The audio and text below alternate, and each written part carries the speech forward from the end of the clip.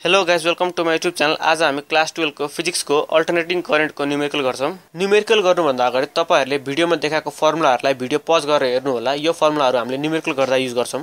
An AC source of two hundred twenty volt fifty hertz is connected to a series circuit containing resistor R and inductor L and a capacitor C if R equals to two hundred ohm L equals to zero point five henry and C equals to ten microfarad calculate the current in the circuit the phase angle and the power consumed in the circuit यो क्वेसनमा एउटा two hundred twenty volt AC सोर्ससँग two hundred ओमको resistor zero point five हेनरीको inductor र ten माइक्रोफेराडको capacitor जोडेको छ अनि हामीलाई सर्किटमा फ्लो हुने current phase angle between the current and the voltage र power consume in the circuit निकाल्न भनेको छ। सबसे पहिला त क्वेसनको given लेखिहालौँ।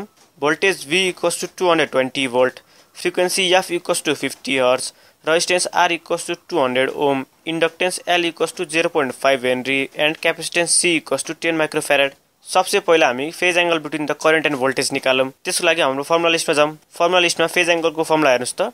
Tan theta equals to XL minus XC upon R अब यो फर्मुला हेर्नुहोस्। यो फर्मुलामा एक्सएल र एक्सी टर्म छ तर हामीलाई एक्सएल र एक्सीको भ्यालु क्वेसनमा दिएकै छैन। त्यसो भए अब हामीले एक्सएल र एक्सीलाई नोन भ्याल्युजको टर्ममा लान्छौँ।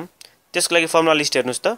फर्मुला लिस्टमा हेर्नुहोस् त एक्सएलको value XL equals to two pi FL अनि एक्सीको value one by two pi FC छ। अब यो दुइटा भ्यालुजहरू तपाईँहरूले हाम्रो फेज एङ्गलको फर्मुलामा सब्सटिट्युट गर्नुहोस्। सब्सटिट्युट गर्दा फेज एङ्गलको फर्मुला कति भयो त? Ten theta two pi FL minus one by two pi FC upon R अब यो फर्मुला हेर्नुहोस् यो फर्मुलामा सबै भ्यालुजहरू नुन एफ एल र सी हामीलाई दिएकै छ।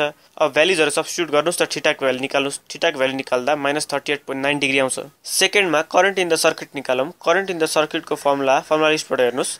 I equals to V by square root of XL minus XC whole square plus R square यो इक्वेसनमा पनि एक्सएल र एक्सीको भ्यालु सब्सटिट्युट गर्नुहोस्। एक्सएल र एक्सीको भ्यालु सब्सटिट्युट गर्दा हाम्रो फर्मुला कति भयो? I equals to V by square root of two pi FL minus one by two pi FC whole square plus R square अब यो फर्मुलामा पनि सबै भ्याल्युजहरू नोन छ तपाईँहरूले भ्याल्यु सब्सटिट्युट गर्नुहोस् र आइको भ्याल्यु निकाल्नुहोस्।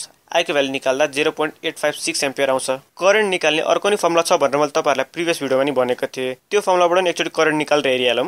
I equals to V by R cos theta यहाँ ठिटा भनेको phase angle between current and voltage हो। यो फर्मुलामा हेर्नुहोस् त भी र आर हामीलाई क्वेसनलाई दिएको छ अनि हामीले ठिटा पहिले निकालिसक्यौँ। अब यो सबै भ्याल्युजहरू सब्सटिट्युट गर्नुहोस् र आईको भ्याल्यु निकाल्नुहोस्। आईको भ्याल्यु निकाल्दा फेरि पनि zero point eight five six ampere नै आउँछ। लास्टमा हामीलाई power consume in the circuit निकाल्न भनेको छ। फर्मुला लिस्टबाट पावर कन्ज्युम इन द सर्किटको फर्मुला हेर्नुहोस्। P equals to IV cos theta अब यो फर्मुला हेर्नुहोस्। आई र टिटा हामीले पहिले निकालिसक्यौँ बी हामीलाई क्वेसनमा दिएको छ। तपाईँहरूले भ्याल्यु सब्सिट्युट गर्नुहोस् र पीको भ्याल्यु निकाल्नुहोस्। पीको भ्याल्यु निकाल्दा one hundred forty six point five six watt आउँछ। अब तपाईँहरूले लास्टमा कन्क्लुजन लेख्नुहोस् अनि हाम्रो एन्सर सकिन्छ।